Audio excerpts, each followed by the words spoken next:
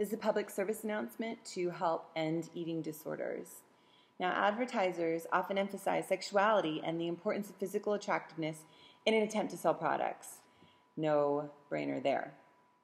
But researchers are concerned that this places undue pressure on women and men to focus on their appearance.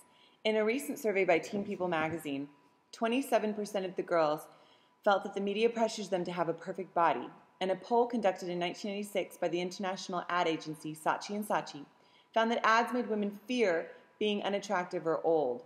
How gross. Researchers suggest advertising media may adversely impact women's body image, which can lead to unhealthy behavior as women and girls strive for an ultra thin body type idealized by the media. The average woman sees 400 to 600 advertisements per day, and by the time she is 17 years old, she has received over 250,000 commercial messages through the media. That's crazy. Only 9% of commercials have a direct statement about beauty, but m- many more implicitly emphasize the importance of beauty, particularly those that target women and girls.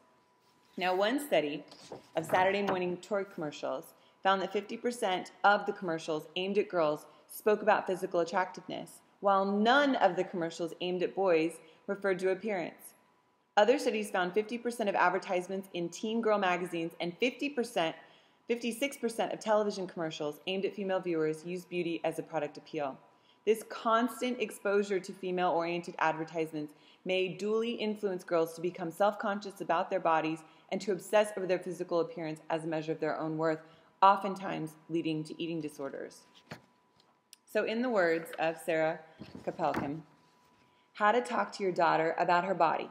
Step one don't talk to your daughter about her body, except to teach her how it works. Don't say anything if she's lost weight. Don't say anything if she's gained weight. If you think that your daughter's body looks amazing, don't say that. Here's some things you can say instead. You look so healthy. You look so strong. You're glowing and happy. It's beautiful. Better yet, too, compliment her on something that has nothing to do with her body. Don't comment on other women's bodies either. Not at all. Not one single comment. Not a nice one or a mean one. Teach her about kindness toward others, but also kindness toward yourself. And don't you dare talk about how much you hate your body in front of your daughter or talk about your new diet. In fact, don't go on a diet in front of your daughter. Buy healthy food, cook healthy meals, eat healthy food. But don't say, I'm not eating carbs right now. Your daughter should never think that carbs are evil or that any food is evil. Because shame over what you eat only leads to shame about yourself, which in turn can lead to shameful eating disorders. Encourage your daughter to run because it makes her feel less stressed. Encourage your daughter to climb mountains because there's nowhere better to explore your spirituality than at the peak of the universe. Encourage your daughter to surf or rock climb or mountain bike because it scares her, and that's a good thing sometimes. Help your daughter love soccer or rowing or hockey because sports make her a better leader and a more confident woman. Explain that no matter how old you get, you'll never stop needing good teamwork. Never make her play a sport she's absolutely in love with. Prove to your daughter that women don't need men to move their furniture. They are strong and healthy and can do it themselves most of the time. Teach your daughter how to cook kale. Teach your daughter how to bake chocolate cake made with healthier ingredients. Pass on your mom's own recipe for Christmas morning coffee cake and pass on your love of being outside. Maybe you and your daughter both have thick thighs or wide rib cages.